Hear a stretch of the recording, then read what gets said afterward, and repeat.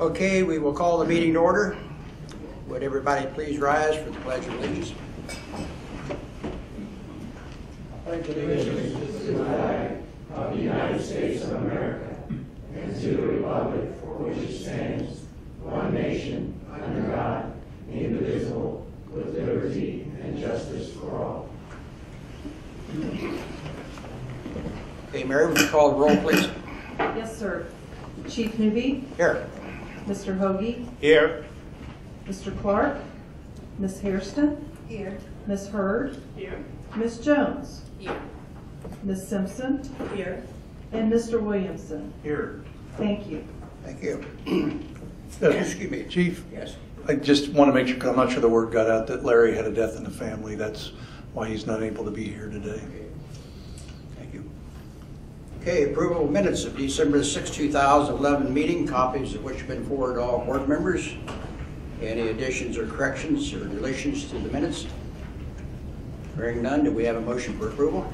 So moved. Moved by Franz, seconded by Adrian to approve the minutes. All in favor signify by aye. Aye. Opposed, same sign, motion carries. Uh, Next, we have a resolution to take care of here, except I don't have a resolution. Oh, okay. I'll use this one. Um, As we announced last month, and he is seated out in the uh, audience, is Jerry Hensley, who's been a member of this board and should be sitting down there right on the end, rather than out here in the audience, but uh, uh, Jerry had to, or felt necessary to relocate and had to step down from the board. But we do have a resolution of appreciation, and uh, I assume we're going to climb up front here after this is over with, Mark. Absolutely. I, I had, a, I want to get a couple comments too after the resolution. Okay. I'll read the resolution first. Whereas Mr. Jerry Hensley served as a member of the Board of Trustees of the Greater Dayton Regional Transit Authority from October the 28th, 2008 through December the 31st, 2011.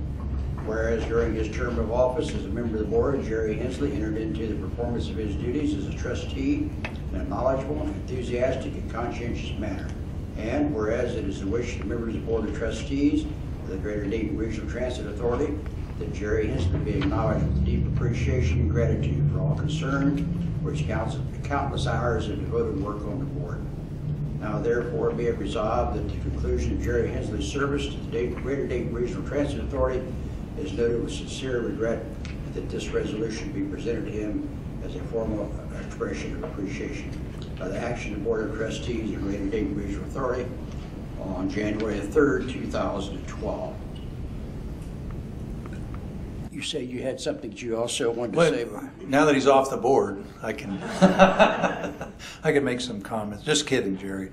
Uh, I know most of you know uh, Jerry's an individual who knows transit really well, uh, uh, and from the ground up, right, Jerry? And I and I would argue Jerry knows good transit and he knows bad transit, uh, and he knows when we're one or the other.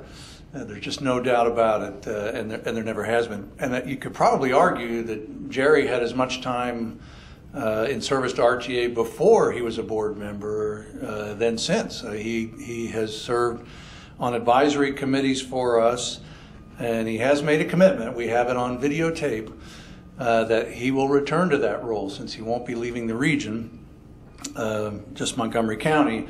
And that's important to us because this is a critical time for RTA and its advisory committees. We're, we're trying to make our advisory committees, uh, I would say, a little more impactful within RTA. And so it's a perfect time for Jerry to return to that role, I think, because he will be great at that.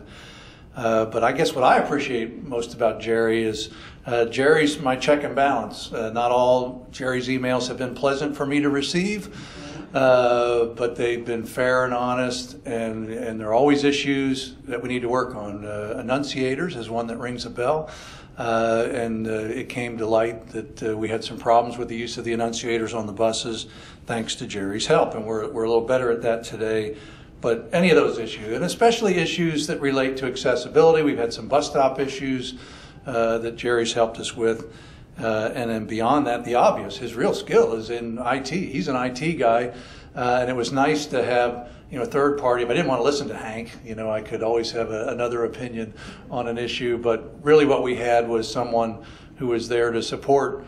You know, when our IT group was looking for something, typically what I saw is support for what they felt we needed. Uh, but Jerry's been a great resource for us uh, for, for the entire time, and I guess I like the idea that Jerry's kind of going full circle here. He's going back to where he started with RTA. I know he'll continue to be a customer because that's the kind of guy he is. Uh, I probably won't get him every day though, uh, but he'll remain a customer and, and still staying active in our advisory committees, which to me is will be a huge way to continue to contribute uh, for the entire region. Uh, so we also have a little thank you form uh, that we'd like to present. If I could get the chief to, to come down front, maybe we'll all go down there and, and present this at once.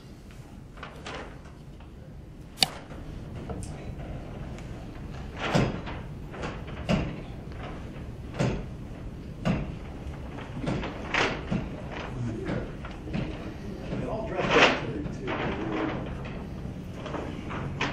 Well, you know, this time of year, it's important to stay warm, so we wanted to have one of these. Uh, keep around your neck, you know, and keep you warm when you're waiting at a bus stop, uh, wondering if you're gonna have to email Mark or not, if the bus is gonna come on time. But more important than that, we want to have something around, around that scarf. And uh, this is a pretty unique coat. It has both our normal logo and then the trolley logo, which obviously is the one thing that's unique about us that very few cities can talk about. So we wanted you to have this kind of special gift, because I know you'll wear it with pride. Absolutely. And we'll, and there's a little, you may have to sign for it. It's a five-year commitment on an advisory committee. But seriously, that means a lot to me, that you're willing to stay on and help us going forward, so I appreciate it so much. Thanks for all you have done and will do. We're gonna miss you, Jerry. As Mark pointed out about the IT thing, I've said this many times, but we sit in committee meetings and there's always these things every year that are coming through. And most of us are someplace out here in left field when it comes that in. Here was a guy that always had the information. And such a big help to the rest of the board. To say nothing about his longtime experience being on advisory committees in the past. We just really want to miss you. Thanks so much. And we, he's gonna want one, one good picture.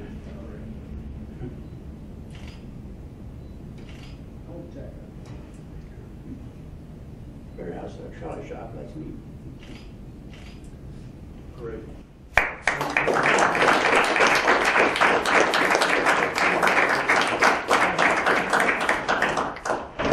I want three minutes, but um, I did want to say this has definitely been a milestone experience in my life. Uh, I, I would really suggest everybody who rides the bus be a board member someday, but I know that can't happen.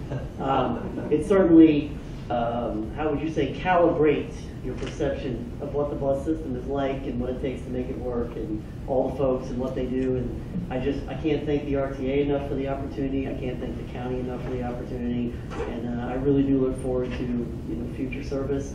Um, like I said last time, I didn't start my service with my board membership, and I certainly don't plan on ending it with my uh, need to resign because I moved across the county line. And so um, I hope to see you all many, many times in the future. Thank you very much. Thank you, Jerry.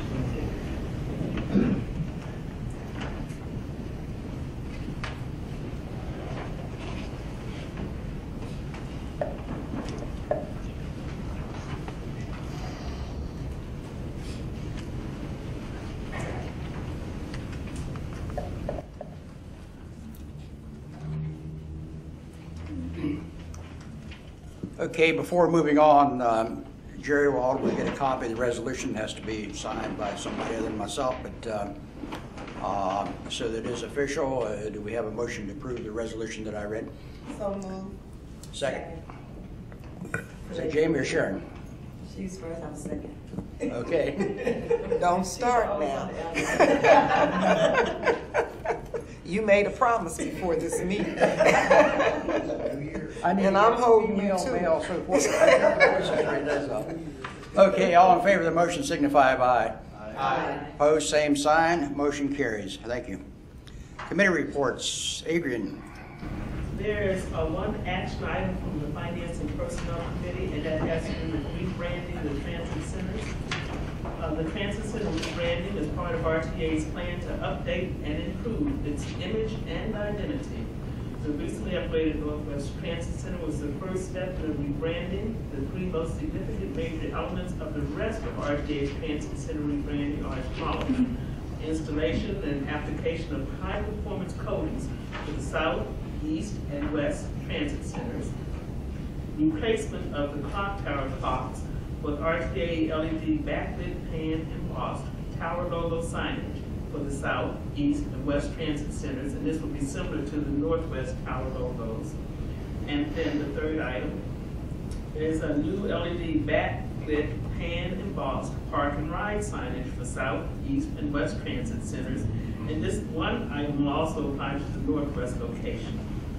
Sale bids for the south, east, and west transit center rebrand were solicited through the Dayton Daily News and the Dayton Weekly News. Invitations for bid were sent to thirty-three bidders at five plan houses. Um, at two P M, November thirtieth, two thousand eleven, five bids were received and publicly opened, and the results are attached for review and reviewed, and have been reviewed by the board. The Finance and Personal and Planning Committee discussed this item at a meeting on December twentieth, and we support the Executive Director's recommendation to the Board of Trustees. After reviewing and evaluating the bids received, the Executive Director recommends a contract award to Martin Painting and Coating Company for the procurement of South, East, and West Transit Center rebrand in the amount of one hundred forty-four thousand eight hundred and fifty dollars. The procurement will be funded with eight percent federal funds, and I would like to move that this recommendation be accepted. Moved by Adrian, do we have a second? I second. Seconded by Sharon. Um, Any questions on the motion? Hearing none, all in favor signify by aye. Aye. Opposed, same sign. Motion carries. Okay, and then has a comment or report from the Finance and Personnel Committee. Um, at the previous meeting, Mr. Robert Thomas provided an update of the RTA fin- financials through the month of November two thousand eleven. The Discussion covered items such as increased ridership revenue, increased sales revenue, lower contract fees, and the personnel costs that continue to stay in line with the budget. In addition, operating expenses are down two percent for November two thousand eleven and five percent year-to-date budget. Additional positive news was the refund of surplus funds from the Ohio Transit Risk. We're doing a good job. And that concludes my reports. Okay, any questions for Adrian? Hearing none. Okay, Janet, Planning Committee. Thank you. The Finance, Personnel, and Planning Committees met on December 20th, and we don't have any action items for the Planning Committee, but we do have some updates to provide for um, today's meeting. Mr. Eckler reported that the RTA participated in the December 22nd holiday food drive sponsored by the Salvation Army at the Kroc Center. Due to the anticipated crowds attendant, attending this event, the RTA provided extra service on Route number 17 to handle additional passenger volume. Mr. Eckler also provided an update of the City of Dayton's downtown graphic district and signage strategy. Zoning codes have been revised to now allow advertising on building wallscapes or standalone digital messaging boards. Staff will be looking into possible advertising options that might provide a positive revenue stream for the RTA in the future. We also had an update from Ms. Pritchard, who provided highlights of the 2011 onboard newsletter, which included an update on Route number 34 for holiday shopping promotions and the Deals and Destination program. Ms. Pritchard also mentioned that RTA received the 2011 Large Business of the Year Award from the City of Trotwood. An update of the Day Pass program, which was implemented on January 1st, was discussed, and Ms. Pritchard also unveiled the new RTA Board of Trustee orientation video. And that concludes my report, Mr. Chairman. If there are any questions, Mr. Eckler and I would be happy to address them. Okay, Guess none. Thank you, Jen. Executive Director's Report, Mark. I know this is going a bit too quickly, but it is the January meeting. We, we seem to have pretty quick meetings the, this time of year. I have very little to, to report other than what's in the package, and certainly I can answer questions. But just to let you know now that uh, these folks have all run their earned time off out, they're, they're all going to have to be at work now, uh, starting this week. And our focus.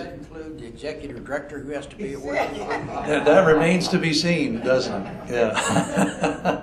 but that was a great shot. Uh, but our priorities right now, as the board is aware, is uh, wrapping up work on the strategic planning effort. Uh, you know, we've stepped back a little to make sure that the final document is one that's satisfactory to the board.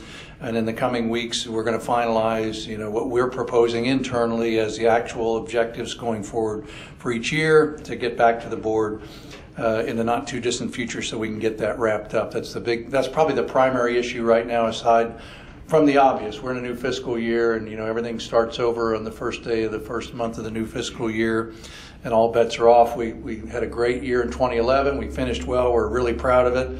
Uh, but that was 2011 and now it's 2012 and we've got to achieve balance in this year and make sure that we do all that is necessary to get there. Uh, on the good news side, of course, uh, a few days ago we started uh, the experiment with a day pass. We now have a, an adult day pass available for individuals for $5, can be purchased on the bus. Uh, and as soon as the flyers went out, people were asking questions, which was a good sign. Uh, I, I, think uh, it'll be an interesting experiment, and I think uh, my gut says it'll be a successful one. And the reaction I've had uh, all along was positive, but even since it's been published uh, and the $5 amount was published, that was always the issue. What's the price point that's right on that?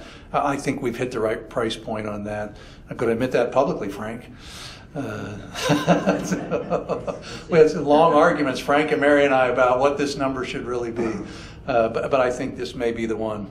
So, uh, so I wanted to give Frank his, his due on that one. Uh, but uh, that's where we're at. We're going to work hard, and uh, this may be a short meeting, but February won't be. I can assure you, we'll have a lot more business to take care of. Okay, on that day pass, could we get an update on this in maybe three months, see what the history and experiences of the day pass. I'm sure the board would be interested to know. Maybe we can bring it up at the uh, uh, committee meetings and probably be a good Mark, uh, I, I'm, I'm looking at the vehicle service reliability report. Maybe John will be the one to answer that. Uh, I'm very pleased with what's happening with the diesel fleet, and I'm sure that's a lot to do with the fact that we basically have a new buses added to the fleet where we went from in November 09 from 2,900 miles uh, between service calls up to 3,000, almost 3,200 service miles. So that's certainly a very positive trend. But the number that, that is, one is a little troublesome, and maybe it's the aging of the fleet, is the project mobility. Three years ago, we went 36,000 miles without road service, uh, call, road calls, and we're down to 12,000 miles. Uh, is that strictly a result of the aging of the fleet? I wish I could say it was. Uh, It's a combination of a lot of things, but right now, the main concern is the powertrain we chose for that particular fleet hasn't proven reliable as what uh, previous powertrains have been. Uh, Ford is working with us trying to solve some of the issues that we're seeing, we're seeing. Uh, But that's a large portion of what we're having problem. And John, with regard to the trolley fleet, in 2009, we went 2,000 miles between road calls. And we say in November of 11, we went 5,009 miles, but we didn't have any trolleys on the road, did we, in November? We did. But is that number distorted? Is it really a- an improvement? It's not distorted, but it's unrealistic, only because we had just two trolleys running at a time. And the two bus was out there. Yeah, so it, it, it is not a fair representation of what we can truly do. But Which it was. But again, you know, our research, if you go back to the study we did a couple years ago, uh, eventually when we moved to AC drive, uh, that would be mighty low, that number. So our anticipation is it's going to be much higher than that eventually when we, when we get AC drive in place. It's, it's a year old, but in November, we got 500 miles. What, what, is that distorted also for a reason? For, a year, but it is. Yeah, there was, there was some issues again with the amount amount of trolleys that we were running versus the, uh, the miles that was going, because that's when we were really starting to take trolleys out of service. Um, We should be start getting some realistic numbers back in, uh, I would say, right around the April, May timeframe, is when we'll start seeing the realistic. Just about the time they close down all the streets in downtown Dayton and you go back to having to run diesels again, you'll get realistic numbers. Yeah, unfortunately, that may be the truth. But we're working hard, and hopefully the state will work with us, so we'll be able to still maintain trolleys. And this one I'll direct to Mark. Mark, over the months, and uh, we, we discussed the on-time performance, and I know you're working, and your people are working to try to improve it, yet, if I recall the numbers from prior months, they don't seem to be moving very much. When do you think we will really see a major improvement in the on-time performance? Well, arguably in the coming year, now, there was significant improvement early on in the elimination of, you know, what are called the earlies in some of those calculations, uh, but not significant movement in the end, uh, in the overall on time. Uh, But I think we're to the point where we pretty much have the electronic issues uh, on the table that, that could be contributing overall. And there are others that, that, that just don't. So we will either see a, a significant improvement, or I can tell you that it's actually a, an issue that's going to be assigned to certain individuals specifically in the coming year uh, to basically implement the remainder of what we think is at hand that can be done uh, to make sure it's accurate. Because we want it to be accurate no matter what. We want to make sure the numbers we see, much like the road calls, uh, are real numbers. So I, I think uh, by mid-year, I think I'm going to be comfortable that it's where it should be, one direction or the other. And it may mean, you know, does that mean that 85 is a great number, not 90? We'll see. I mean, my approach to these things, and road calls may be the best example because John knows very well. He's been around a while, and uh, uh, there are cities in our country that consider a road call when a bus is towed. You know, we consider a road call when we send a mechanic. Uh, and if you look, and I do occasionally, we if you look at all the road calls, you'll see some unusual ones. Uh, like for us, fare boxes are a huge contributor to our road call issues. Uh, and I and I have a relative in the business who called me a while back and was going on about how great their miles between road calls were, and the number was so high. I said, "Well, those are wonderful lies, but you know, you, you need to dig because those are lies. You need to understand what's really behind the numbers, because our goal is to, to be comfortable that what's happening on the street is what we really want, whether it's road calls or whether it's on time, and." Uh, I mean, that's where, you know, obviously big concerns with those, with the trolleys because they've never performed anywhere near the diesels since this fleet's been in place. And yet the reputation of a trolley bus is exactly the opposite to do better. Uh, and we do anticipate, my memory, it was around 16,000 between road calls that Boston was seeing on their AC drive units, which is about triple what an excellent diesel fleet would be. I mean, a high-end excellent diesel number. So that would be good. Thank you. You're welcome. Any other questions for Mark?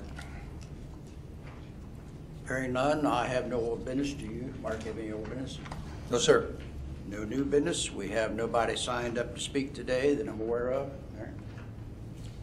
Okay, any board members have any comments or announcements? And no need for an executive session. I would comment on the fact that um, I was joking about when Mark said everybody had to be here this whole week and working hard. I asked if it applied to executive director, uh, making reference to the fact he is going to take a couple days off or so. And uh, I did wonder, though, I did hear that you have a birthday coming up. Is it the fact that you're aging such that you just can't get a whole weekend now, or? like it could well be. It, you know, it's all a matter of perspective, Chief. You know, and my grandchildren think their dad is really old, and I say, "Well, where's that put me?" And they, you know, their eyes just kind of light up. So it, it could well be. Not ready to retire yet. We wish you a happy birthday and a good trip. Thank you so much. And If no other comments, I would entertain a motion to adjourn. So moved. One of the two ladies there, Sharon, I should know, she, she's, I made a comment to her, so she's out to get me today. Seconded by Adrian.